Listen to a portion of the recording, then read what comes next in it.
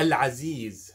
Al-Aziz huwa Allah, subhanallah. One of the great qualities, names and attributes and descriptions of Allah is he as Al-Aziz. Now this isn't a simple one-word translation. The word Al-Aziz, it signifies so many important shades of meaning.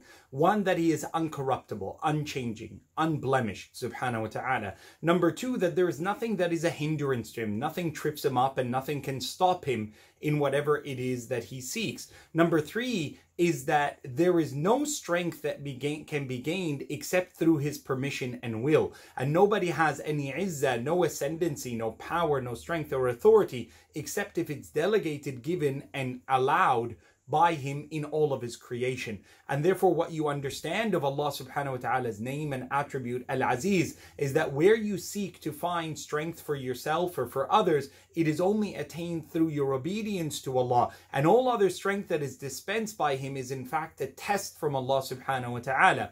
Al, al, um, you know, one of the great ways of Allah subhanahu wa ta'ala describing Himself is that He refers to Himself as Al Aziz Ar Rahim.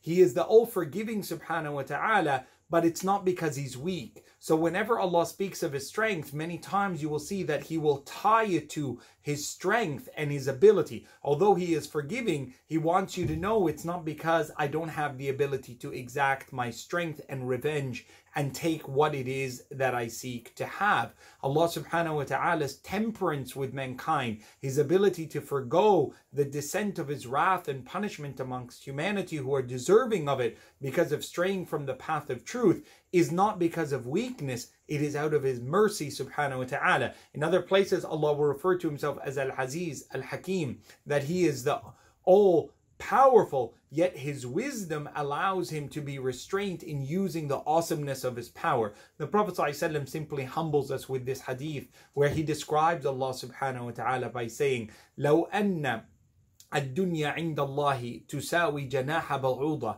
if the worldly life was of any worth in the sight and estimation of Allah even if the worth of it was even comparable to the wing of a mosquito ما سقى منها كافر شربة ماء Allah would not allow an unbeliever in him, a disbeliever in him, a renegade against him to have a sip of its water. But Allah subhanahu wa ta'ala provides to humanity, those who are near Him and those who stray far, an opportunity to return to Him. And it's not because He is unable, He is Al Aziz, He is the Almighty, the All Powerful, the Irresistible subhanahu wa ta'ala, but He is Al Hakim, Al Ghafur, Al Halim subhanahu wa ta'ala.